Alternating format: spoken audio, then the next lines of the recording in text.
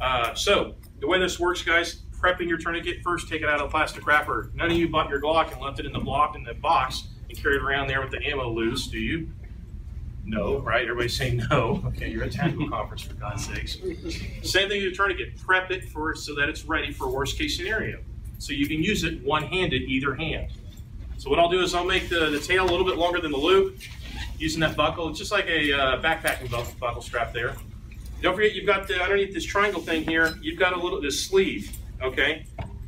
Take up that slack to where the uh, windlass is, is taken up there. You can kind of, just enough to fold it up. Make the loop, or the tail a little bit longer than the loop. I'm gonna fold this back in onto itself, just like that. If you're using the Filster or one of the ankle rigs, um, I've got mine in there. I just pull the tourniquet straight up.